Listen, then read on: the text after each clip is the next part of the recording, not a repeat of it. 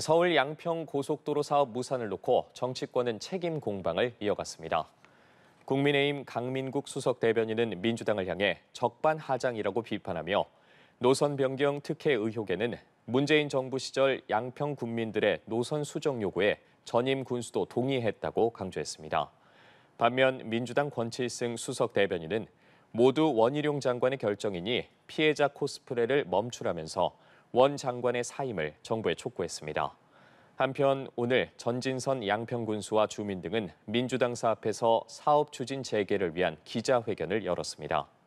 전 군수는 민주당의 원안 추진 요구에 선을 긋고 강상면 안으로의 재추진을 요구했습니다.